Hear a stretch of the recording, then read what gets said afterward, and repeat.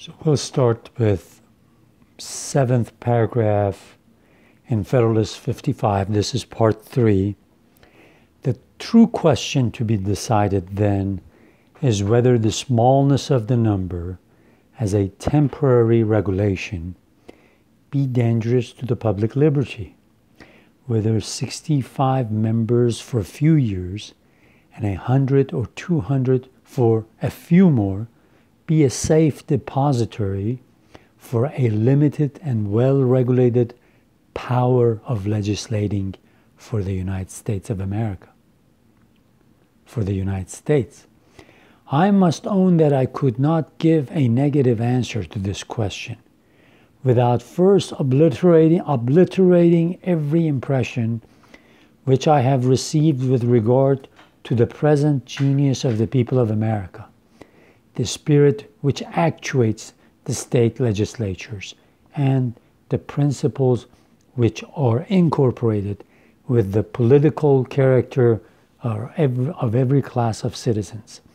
Now remember, we've talked about genius when he uses the word genius in the Federalist Papers. He's talking about the prevailing mood and understanding of the people.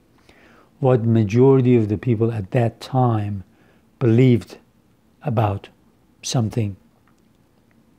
So he says, with the way Americans, majority of Americans look at this thing, with what's going on in the state legislatures, the lawmakers there, uh, this, that, I'm unable to conceive that the people of America, in their present temper or under any circumstances which can speedily happen, will choose and every second year repeat the choice of 65 or a 100 men who would be disposed to form and pursue a scheme of tyranny or treachery.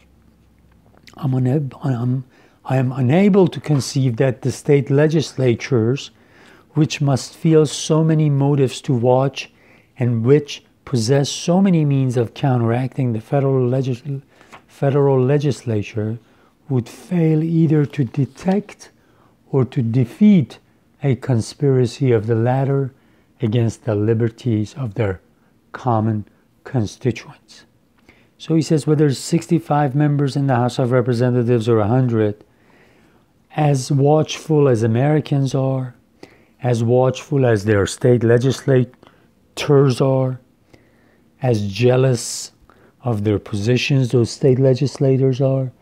I can't see any 65 people that are going to be directed by you, elected by you, to to cheat and to dishonor themselves by not doing what is right for you He says, I just can't see that happening. I am equally unable to conceive that there are at this time, or can be in any short time, in the United States, any 65 or 100 men capable of recommending themselves to the choice of the people at large who would either desire or dare, within the short space of two years, to betray the solemn trust committed to them. What change of circumstances, what change of circumstances, time, and a fuller population of our country may produce requires a prophetic experience, spirit to declare, which makes no part of my pretensions. But judging from the circumstances now before us and from the probable state of them within a moderate period of time, I must pronounce that the liberties of America cannot be unsafe in the number of hands proposed by the federal Constitution. The next paragraph From what quarter can the danger proceed? Are we afraid of foreign gold? If foreign gold could so easily corrupt our federal rulers and enable them to ensnare and betray their constituents? How has it happened that we are at this time a free and independent nation? The Congress which conducted us through the revolution was a less numerous body than their successors will be. They were not chosen by, nor responsible to their fellow citizens at large. Though appointed from year to year and recallable at pleasure, they were generally continued for three years and prior to the ratification of the federal articles for still longer term. They held their consultations always under the veil of secrecy. They had the sole transaction of our affairs with foreign nations. Through the whole course of the war, they had the fate of their country more in their hands than it is to be hoped will ever be the case with our future representatives. And from the greatness of the prize at stake and the eagerness of the party which lost it, it may well be supposed that the use of other means, that force would not have been scrupled.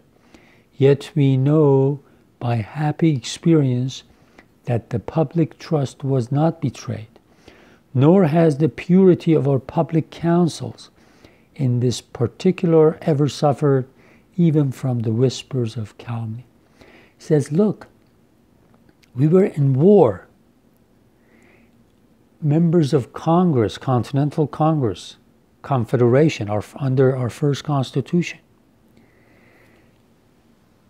These people were elected by the state legislatures at, uh, at, during the pleasure of state legislatures. In other words, they could be recalled anytime.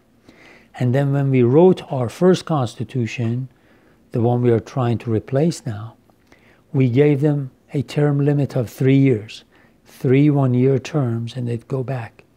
He says, if they were going to be corrupted by gold or money, they would have been done then because British would gladly have corrupted the Congress financially and not killed so many, not got so many of his soldiers killed and so much money lost in the war to finally lose the war.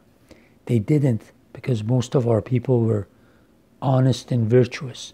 Most of the people we elected to the Congress of the United States. So he says, for that same reason,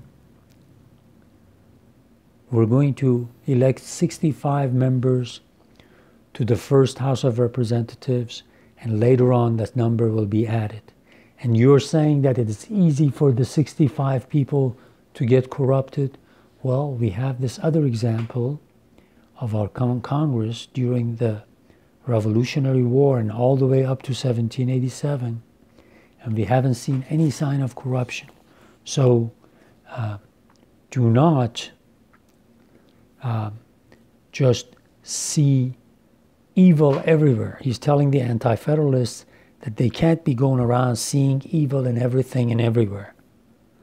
They have to be uh, putting more trust in their own people, in their own representatives.